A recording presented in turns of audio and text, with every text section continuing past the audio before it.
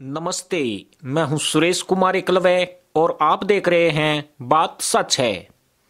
Petrol, diesel की महँगाई से भारत ही नहीं, बल्कि पड़ोसी पाकिस्तान के नागरिक भी परेशान हैं। खस्ता हाल पाकिस्तान में एक ही दिन में इमरान सरकार ने पेट्रोल के दाम में चार रुपए प्रति लीटर का इजाफा कर दिया है। तो वहीं लाइट डीजल के दाम में आठ रुपए बयासी पैसे लीटर की बढ़ोतरी की है, जबकि यहाँ कैरोसिन सात रुपए पाँच पैसे महँगा हुआ है। इसके अलावा हाई स्पीड डीजल भी दो रुपए प्रति लीटर महँगा हुआ है।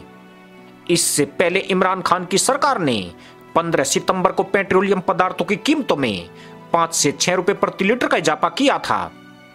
बता दें कि पाकिस्तान में भारत की तरह पेट्रोल, डीजल के रेट रोज़ाना जारी नहीं होते हैं। वहाँ पंद्रह दिन पर कीमतों में बदलाव होता है। वर्तमान में पाकिस्तान में पेट्रोल की कीमत एक सौ सत्ताईस रुपए तीस पैसे प्रति लीटर हो गई है।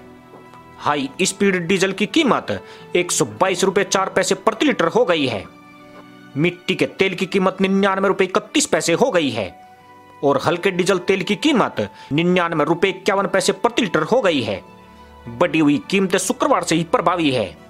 पाकिस्तान के वित्त विभाग ने एक बयान में कहा है कि तेल और गैस नियामक प्राधिकरण ने पिछले दो हफ्तों में अंतर्राष्ट्रीय बाज़ार में कीमतों में वृद्धि के साथ साथ विनिमय दर में बदलाव के आधार पर उच्च पेट्रोलियम कीमतों पर काम किया था।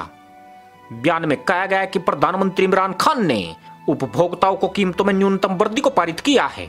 पाकिस्तान सरकार अब तेल की कीमतों में पंद्रह दिन के आधार पर संशोधन करती है, ताकि पाकिस्तान स्टेट ऑयल की आयात लागत के आधार पर मासिक गणना के पिछले सिस्टम के बजाय प्लेट्स ऑयल ग्राम में प्रकाशित अंतर्राष्ट्रीय कीमतों को पारित किया जा सके। इसी के साथ अनुमति दोस्तों जय हिंद।